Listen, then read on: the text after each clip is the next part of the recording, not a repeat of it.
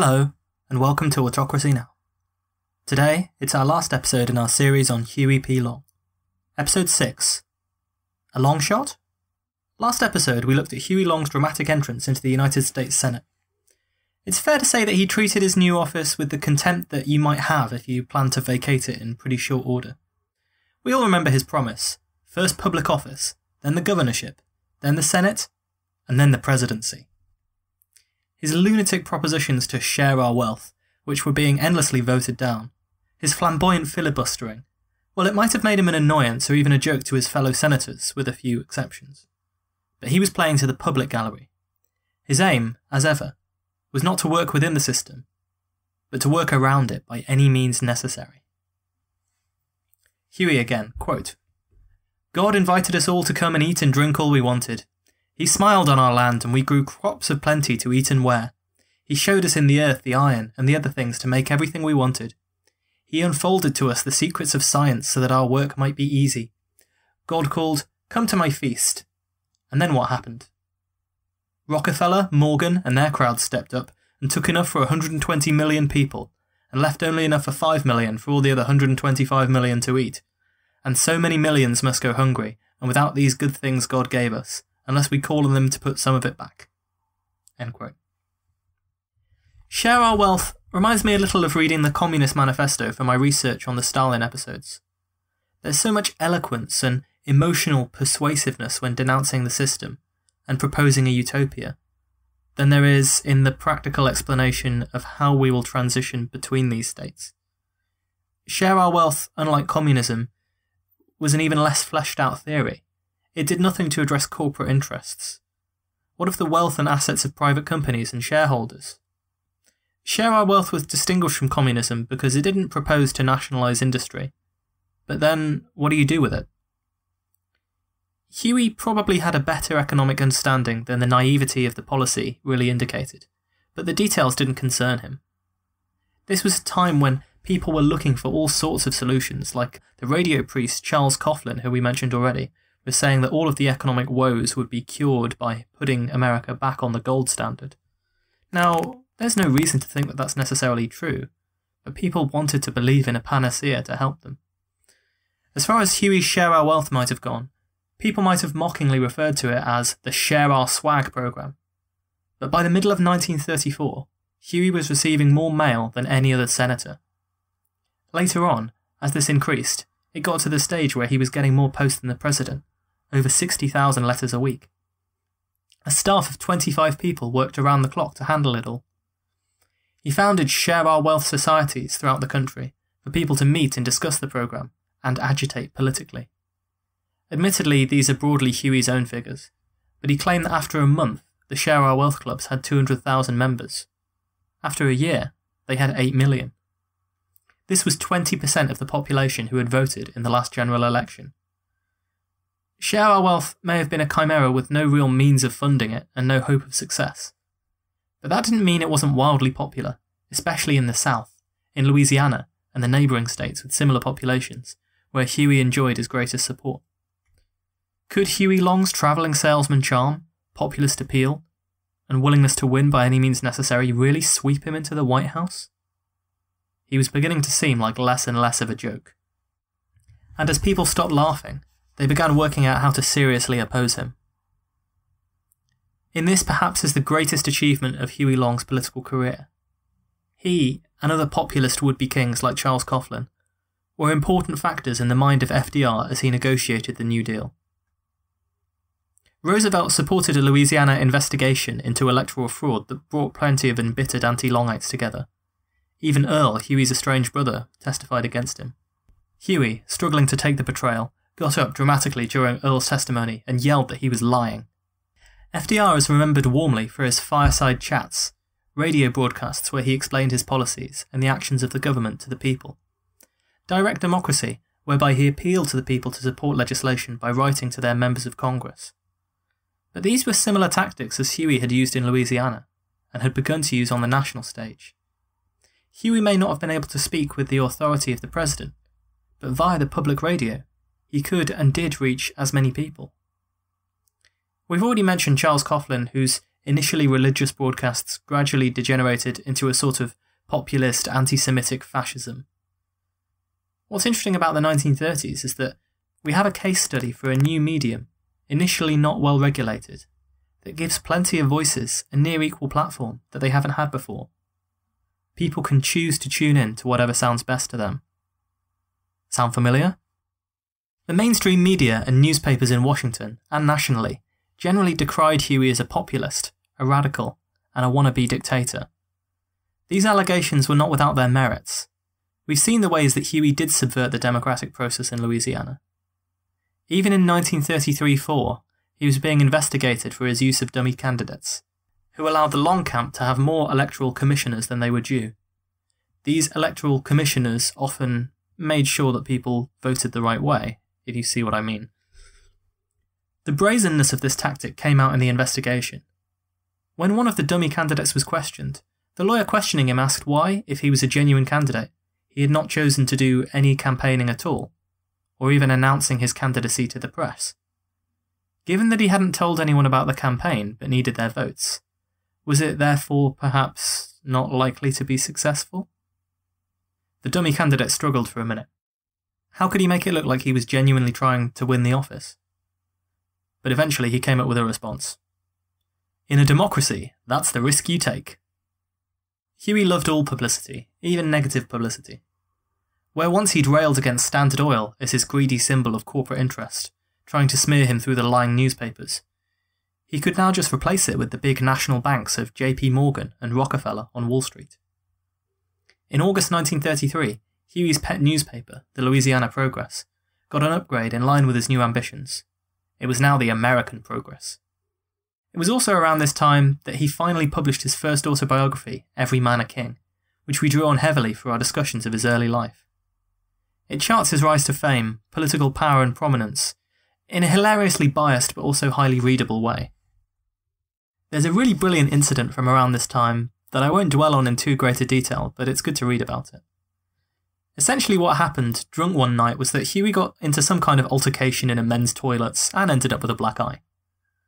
Most unbiased accounts tend to assume it was a drunken scuffle over some minor urine related slight, but the papers had a field day and gleefully printed all kinds of scurrilous rumours. Huey, meanwhile, claimed that it was a member of the House of Morgan, alluding to the bank, and offering his own wild conspiracy theory that a team of gangsters hired by the Wall Street was responsible. For the rest, I'll quote T. Harry Williams, writing, remember, in 1969. Quote, Huey need not have been bothered by the publicity or the campaign of the conservative newspapers to ridicule him into oblivion. Neither damaged him seriously, although they would have ruined an ordinary politician. Such a man would have issued solemn denials which would not have been believed. Huey chose exactly the right defence. He told a monumental falsehood. Hardly anyone believed that he'd been beaten up by gangsters sent by the Morgans, but the story was so magnificently conceived and compelling that people laughed admiringly and overlooked his indiscretion. For future reference, if you're going to lie in politics, be sure to double down. In some ways, his willingness to say almost anything actually helped him in the Senate debates. One Democratic senator recalled, quote, Frankly, we were afraid of him. He is unscrupulous beyond belief. He might say anything about me, something entirely untrue that could ruin me in my state. He will go to the limit. Even as Huey's popularity and notoriety grew, he still had to deal with rising political tensions back in Louisiana. One of the issues with establishing the kind of domination that Huey did over politics and government, but stopping short of throwing all your political enemies in jail like a Hitler or a Stalin, is that all those enemies are still there, looking for any opportunity in his absence to regain control of the state. In May of 1934, 500 armed men arrived in the state capital. Every one of them was fervently anti Long. They'd been brought there by a league of anti Longs who were planning a political coup. Note that this was not a military coup, the armed men were merely there to help keep the peace if things got ugly. But the distinction was beginning to blur. Although the anti-Longs believed that they might be able to vote to impeach and remove key officers in the Louisiana government, including Huey's sock puppet governor, O.K. Allen, they were mistaken. Huey rushed back to offer the appropriate bribes and remind the appropriate people of their place alongside him. Once again, the Long Machine proved too ruthlessly efficient, and Huey himself too personally organised and determined, for anyone to hope to combat it successfully. The anti Long pretenders were forced to return their armed men home without impeaching anybody. Huey used the temporary political victory and his presence in Louisiana to tighten his control, ramming new laws through. His favourite tactic was to attach them as amendments to bills that had been proposed by anti Longs, then order a quick vote. One of them established state appointed electoral commissioners. No more need for dummy candidates. Huey could pick his own men. Now it could be done directly. The original bill had been designed to regulate dummy candidates. Other measures were essentially directly to punish the rebellious old regulars in New Orleans. Their liquor sales were taxed, and other sources of income for the city were stripped. The attempt to seize power was so flagrant that an anti Long legislator sarcastically offered an amendment, granting election officers the power to, quote, shoot and kill any person who cast their ballot against the desires of Senator Long. It wasn't passed, but maybe Huey thought he didn't need to pass it. All of these laws that pertain to elections were important, because there were congressional and judicial elections in Louisiana coming up in 1934. Specifically, there were a lot of local elections in New Orleans, Huey wanted to assert his dominance over the mayor, Walmsley, and the old regular machine that now backed the mayor and his anti long bloc. Huey flexed his muscle. Fifty armed members of the National Guard in Louisiana occupied the voting registrar's office in New Orleans and poked machine guns out of the window. Walmsley, in response, ordered the local police and soldiers to defend the city hall. Soon 600 policemen were surrounding the National Guard, armed with machine guns and tear gas. Huey ordered that another 600 guardsmen were to be mobilised and held at a nearby barracks. As this dramatic armed standoff continued, the machinery of state politics was also whirring. Huey convened a special session of the legislature. The bills proposed were nothing more than a naked, unconstitutional power grab. The governor would be allowed to call on his militia at any time, for any reason, and no court could stop him. The governor could reprieve anyone of many different crimes, including contempt of court. The courts and local authorities were stripped of powers. Longites in the state legislature hurried the bills through in less than a day, with a minimum of debate, almost as fast as they could be read. In one of Huey's legislative flurries, an opponent asked Huey, When will we know what these bills are all about? The Kingfish replied, Why, Tuesday, after they've passed. Most of them involved seizing greater control of some board or other for patronage purposes, or punishing Huey's enemies. Now the police, the firemen, the teachers, Huey had control over all of them.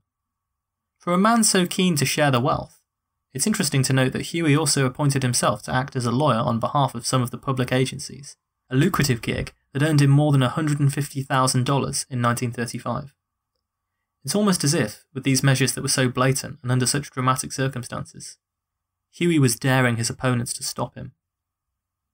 A more conservative, insidious Huey maybe even the Huey of a few years ago, might have come to some sort of arrangement, let tensions die down, and sneakily increased his own power that way. But as far as the modern Huey was concerned, Louisiana was his, and anyone who wanted to stop him was welcome to try. The final straw for some conservatives, perhaps, was when he passed a tax on oil refineries. This was the same tax that had nearly caused him to be impeached as governor. Then there had been 20 days of debate and it had damn near brought his political career to an end.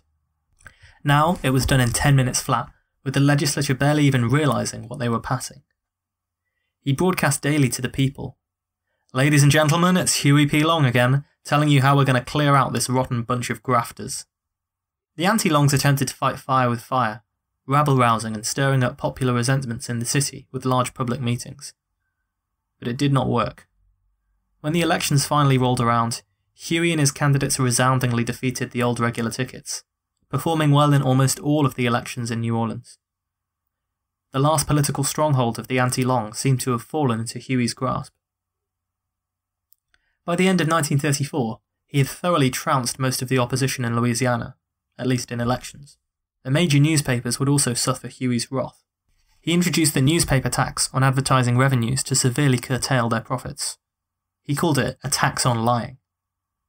Eventually, it was deemed to be unconstitutional by the US Supreme Court, but Huey had shown his willingness to use his powers to attack the media. The anti longs that remained began to talk more openly about armed resistance to Huey as the only option. State politics did have some influence on goings on on the national stage. J. Edgar Hoover, who was running the FBI at this stage, ordered daily personal reports into Huey's actions, which were delivered directly to the White House. In 1934, Roosevelt got the IRS to investigate Huey and his associates for potential tax fraud. There were plenty of dodgy things going on, especially with the notorious Win or Lose Oil Company. Huey and his secretary Alice Lee owned plenty of the shares of the Win or Lose Company, and it mysteriously bought and sold the rights to drill for oil in Louisiana. Eventually, in 1935, the investigation would confidently report that they had enough evidence to convict Huey Long of tax fraud and numerous other crimes, and bring an end to the reign of the kingfish. History would unfold in another direction, but they were already beginning to convict Huey's lesser associates in the long political machine, going after the little fish before the kingfish, and closing the net as if he were Al Capone or some other gangster. But alongside trying to smear Huey and take him down, FDR was forced to do something about his popular support too. FDR could not be outflanked from the left by a demagogue like Huey Long, and so Huey is probably responsible for moving the New Deal platform further to the left. The background appeal for share our wealth must have been in FDR's mind when he established Social Security, which contains some, albeit watered down, versions of the same proposals for old age pensions and relief for the needy that Share Our Wealth had contained. FDR learned the lesson that the anti long legislatures never did. It's not enough to simply be against a demagogue, to cry dictator, and to insist that this awful man should be thrown in jail. It was necessary to offer people an alternative platform, win the war of words in explaining why this platform is better and more realistic, and convince them that you, and not the demagogue, really have their best interests at heart. After all, it wasn't necessarily Huey's power grabs, but it was instead the loyalty of the people that really made him difficult to dislodge in Louisiana. Even when the anti-longs in Louisiana formed the Square Deal Association to oppose Huey, which went as far as occupying the public square in Baton Rouge, the state capital, Huey could beat them back by force. And why? Because the people of the state were still on his side. Of course, a lot of FDR's fears were politically motivated, and his desire to discredit Huey had a timeline attached. The presidential election of 1936 was just around the corner. Huey had alluded to the fact that he might run in the past, and he had rebelled against the Democratic Senate almost from the beginning of his term as office. He was establishing his own separate brand and clear popular appeal through the Share Our Wealth program. The reality of the political situation was that Huey didn't have anywhere near enough votes to win a race in 1936. There is no doubt that he had a grand strategy. He entered into negotiations with Charles Coughlin, the noted radio priest and populist, who would later go on to endorse fascism. Both of them shared an underground appeal with the masses who were dissatisfied with the elites and the establishment. Between them, if they ran together, they might be able to eke out some 6 to 8 million votes, around the numbers of people in the Share Our Wealth clubs, remember, and would surely carry some southern states along with them. They might also carry the swing vote in key northern states. Huey thought that by splitting the progressive vote, he could ensure that FDR did not receive a second term. The Republican candidate would then be elected, inevitably try to undo some of the New Deal reforms. Then the country would slip into further economic chaos and depression, and, with the failure of both viable alternatives, Huey himself could sweep to the presidency in 1940. This was not an idle fantasy. Stranger things have happened. The fact that Huey was not always clear about whether he himself would run, or whether he would endorse a populist candidate, is evidence that he might have been eyeing chaos and 1940 eagerly. And we've seen his astonishing political career together. Would you really put it past him to pull something like this off? He was already focusing on demonizing FDR in speeches in the Senate. Quote, so it has been that while people have begged for meat and bread, Roosevelt's administration has sailed merrily along, ploughing under and destroying the things to eat and wear, with tear dimmed eyes and hungry souls made to chant for this new deal. In retaliation, FDR ordered any federal employee who was a long supporter to be fired. Millions of dollars worth of federal aid were to be withheld from Louisiana on the grounds that Huey would use the money to strengthen his own political machine. Roosevelt even hired men to speak on national radio against Huey. One of them said that, quote, Hitler couldn't hold a candle to Huey in the art of the old Barnum ballyhoo. Huey, who knew how to speak eloquently and in a reasoned tone of voice when he wanted to, used his response slot not to hurl insults and abuse back, but instead to carefully and patiently explain the failings of the New Deal and the Share Our Wealth plan that he hoped would replace it. There were no insults, no clownish anecdotes, and no flying off the handle. Just earnest, calm persuasion. Millions of people, expecting a show, tuned in and heard not the ramblings of a crazy demagogue, but what sounded like a reasonable man, selling them political utopia. It was a brilliantly exercised piece of restraint, and a political disaster for Roosevelt. On April 1st, 1935, Huey's grinning face made the cover of Time magazine. He would destroy both political parties, abolish the Electoral College, maintain his power through universal suffrage. And I defy any son of a bitch to get me out in under four terms, he told a writer of the time. Huey continued to be a thorn in the side of the Roosevelt administration as he was gearing up to run. This was marked by increased use of the filibuster. He did it five times in 1935, much to the annoyance of the Senate floor as they were trying to pass Roosevelt's second New Deal. In June 1935, he filibustered the National Recovery Act, a bill that was particularly annoying to Huey because it would give him no patronage and let Roosevelt undermine him in Louisiana. He started on topic with an attack on the act but then quickly derailed into calling Roosevelt a fascist and saying that, quote, the New Deal bird of prey is stealing and eating children, stripping flesh from their bones. Eventually, he just started rambling about anything that came into his mind. He talked about his favourite recipes, even quoted extensively from Victor Hugo, which is exactly what I'd do if I wanted to kill an awful lot of time speaking. Well, that would write a podcast. Reporters in the press gallery actually sent down requests telling Huey what to speak about next, including one about Frederick the Great. At 5:30 a.m., babbling about the correct way to make coffee, Huey could hold on no longer and had to dash to the men's room. The senators quickly voted and passed the bill, and then presumably fell asleep. Huey's filibusters were not all funny, though. Key parts of the Liberal Second New Deal legislation were being blocked. Your selfish desire to get publicity, said one senator, has ruined the hopes of millions of people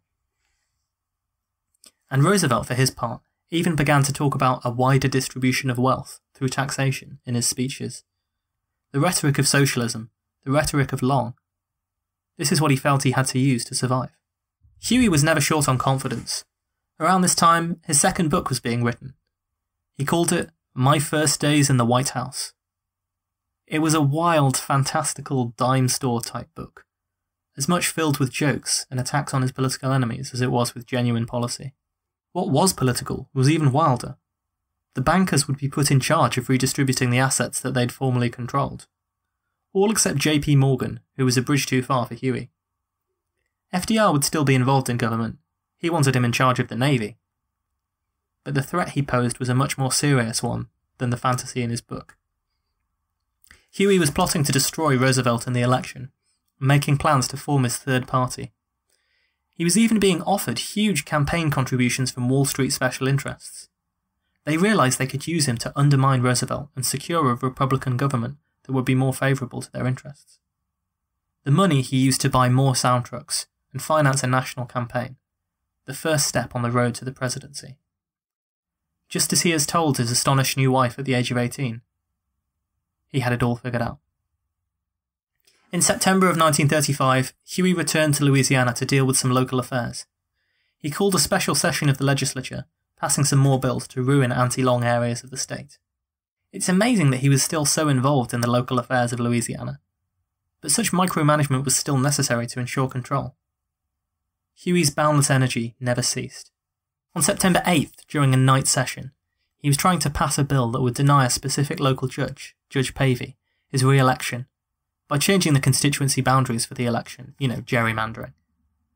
The bill had just passed on the House floor, and Huey headed to the governor's office to grant an interview to a reporter friend, with his entourage, lackeys, and bodyguards trailing behind him. It was at this moment when a man stepped out from behind a pillar and started walking up to Huey. At first, no one noticed him. In fact, no one noticed him until they saw the pistol in his hand. One of Huey's associates tried to bat the assailant's arm away, but not before he fired. Huey was hit in the torso and staggered away. Huey's bodyguards caught up with the situation and pumped the assassin full of bullets. He was later found to have no fewer than 30 bullet wounds. But it was too late. Huey staggered out of the building and was taken to a hospital by a friend who had flagged down a nearby car. Within a few hours, word had spread, and hundreds of people descended on the hospital to find out what had happened to their hero, to see it for themselves. The assassin was one Carl Weiss, a doctor. He had never met Huey Long before, although he was the son in law of the judge that Huey was trying to depose at the time. When Huey, dying although he didn't know it yet, was told the name of the gunman, he was confused. Weiss? What did he want to shoot me for? I don't know him. Conspiracy theories naturally swirled around this event. The anti Long camp insisted that Huey had actually been killed by a bullet fired by his overzealous bodyguards when they were shooting Weiss. Many pro Longs believe to this day that Weiss was hired by Long's political enemies, although they can provide no evidence that this was a planned assassination. One anti Long alluded to the fact that if they were going to do it, they'd do it with machine guns to make sure he was dead. Weiss was an idealistic young man, and the most likely explanation was that he believed Huey Long was setting himself up as a tyrant. In the highly polarized atmosphere of heightened political tensions, he might have feared that this man would one day become president, that his menace was growing too great.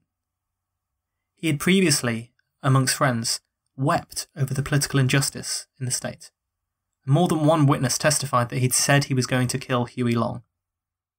His own brother commented that, quote, his broodings finally unbalanced his mind, and, thus unbalanced, he saw as a martyr to liberty the man who would assassinate Senator Long. A last ditch attempt at surgery was not enough to save Huey, but it took him two days to die, drifting in and out of consciousness, occasionally talking lucidly, sometimes wildly. This perhaps is how a hurricane dies. Surrounded by his family, friends, and political associates, a week after he turned 42 years old, and in his mind, just five years from the presidency, Huey Long died. The rest, of course, is history.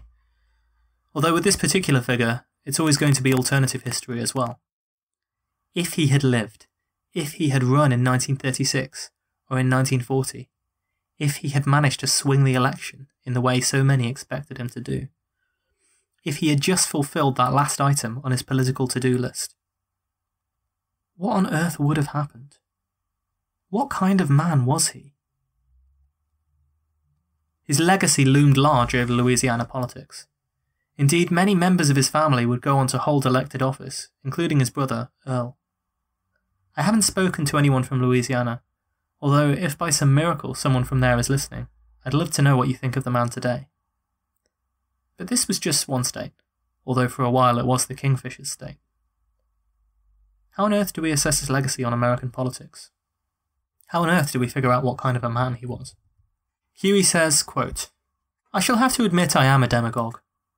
In Old Greek language, that meant acceptable to the majority. When I advocated free school books, when I advocated free bridges instead of toll bridges, when I advocated paved roads instead of dirt tracks, that was demagoguery. There are many kinds of demagogues. Those who deceive the people in the interests of the lords and masters of all creation, the Rockefellers and the Morgans. Some deceive the people in their own interest.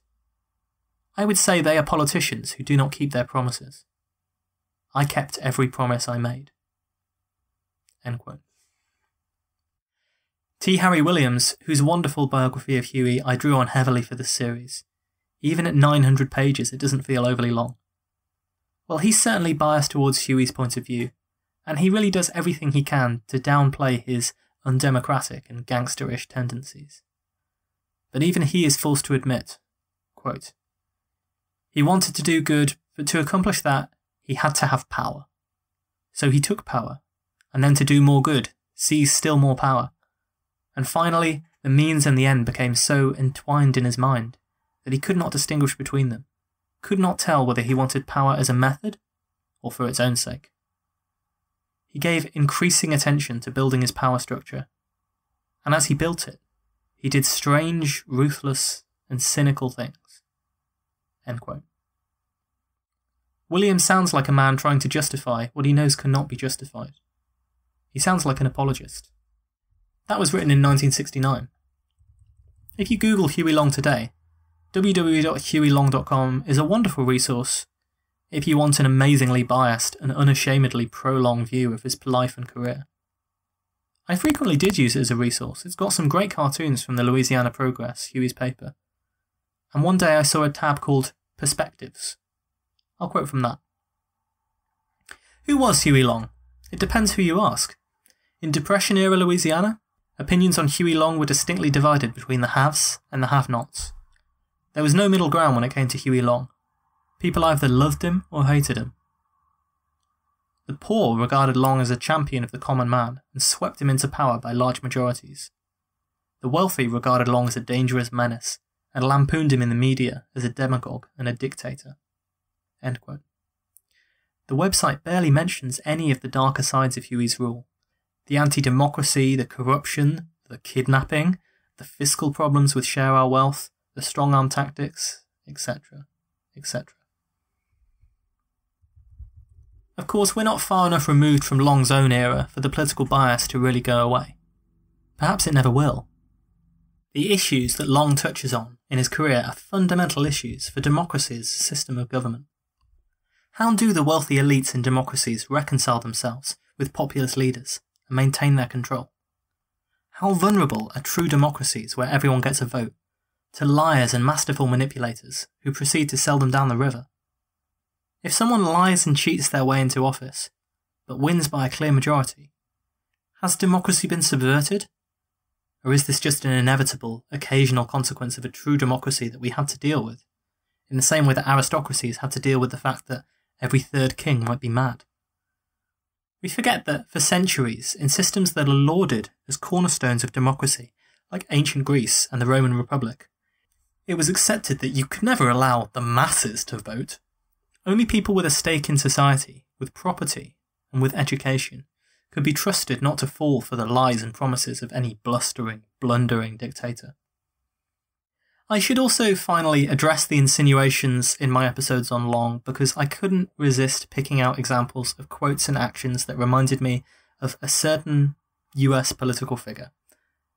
They're similar figures in the way we react to them, People who like them view the elites in the media as out of touch and won't hear a word said against their hero, regardless of allegations of political corruption, lying, or political inconsistency. People who dislike them accuse them of trying to become dictators, manipulating their naive supporters, and exploiting populist policies and impossible promises to gain power and wealth. All I'm going to say on the subject is that Huey was a lot more eloquent, a lot funnier, and he actually did more to undermine big corporations on behalf of the little guy than Trump ever did. Also, although he exaggerated his poverty, he's so much closer to the working man's hero than the man who inherited millions, that I wonder what on earth might have happened if a politician with the charisma and energy of Huey Long had come along in 2015. That's not to say his intentions were pure, or that he wouldn't have wrecked the country, or that he wasn't just as corrupt. But it's just a fact. And in some ways, Huey proved himself to be far worse than almost any comparable politician in US history. The corrupt machine he established, which siphoned the oil wealth of Louisiana into a few pockets, including his own, have left inequality and poverty in the state as bad as they were before his reign, despite his claims. The state still ranks 45th in terms of median household income. We cannot hold him responsible for the actions of those who came later. But I think we've seen enough times that, at best, Huey could see no distinction between his own self interest and the interest of the people. And at worst, he didn't care about the distinction. But the question I always knew I'd have to end on is simply who was Huey Long?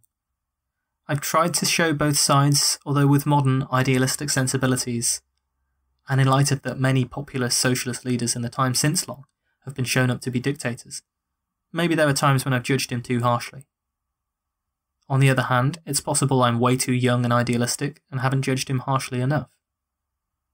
Was he a man with some ideals who had to do ruthless things in order to maintain his position of power, because of the political system in Louisiana that he was born into? Was he a corrupt and power hungry demagogue who exploited the suffering and desperation of Depression era people for personal gain? Did he start out idealistic and slip into dictatorial ways? Was his ultimate concern power for the people, or power for Huey P. Long. There are signs and arguments and counter arguments and opinions and counter opinions, then and since. So many it'll make your head spin. Maybe if he had fulfilled that final goal on his list and become president, we would know what he was really all about. Maybe that would just intensify the historical debate. The assassin's bullet that cut him down has meant we'll never know. But the fascinating life he led and its dramatic end, and the recurrence of these polarizing figures in politics, who resemble him in one way or another, have meant that we will likely never stop discussing him. I'll leave him then, a lesson for history and a debate for the ages, with his final ambiguous words, spoken as he lay dying in a hospital bed. You can hear them as those of a popular hero who never got this chance to overthrow an unfair and corrupt establishment. You can hear them as those of a would be dictator whose ambitions were thwarted. You can hear them as those of a human being clinging to life, as we all cling to life. Dying, Huey said, God, please don't let me die. I have so much left to do. Thank you for listening to Autocracy Now.